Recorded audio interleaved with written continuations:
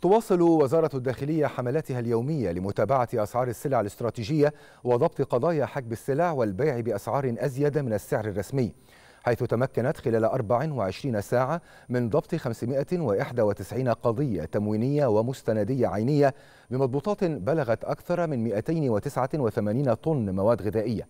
وفي مجالي حجب السلع الاستراتيجية والاستيلاء على السلع المدعومة تم ضبط أكثر من 51 طناً. وفي مجال حجب أرز الشعير والأبيض وعدم توريد أرز الشعير والبيع بأزيد من السعر الرسمي للأرز الأبيض تم ضبط أكثر من 229 طنة. وفي مجال البيع بأزيد من السعر الرسمي للسلع الغذائية تم ضبط قرابة تسعة أطنان. وفي مجال قضايا المخابز تم ضبط 386 قضية من بينها 161 قضية خبز ناقص الوزن و142 قضية خبز غير مطابق للمواصفات.